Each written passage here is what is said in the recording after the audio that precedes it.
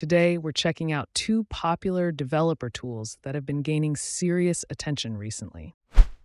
Port Killer, a tiny Mac OS menu bar app that does exactly what its name suggests kills processes hogging your ports. If you've ever tried to start a dev server and hit that classic error, port 3000 already in use, you already know the pain. Port Killer lives quietly in your menu bar. No dock clutter, no terminal commands to remember. It automatically scans your system for listening TCP ports and shows you exactly which process and PID is using each one. Need to free up a port? Just one click and the process is gone.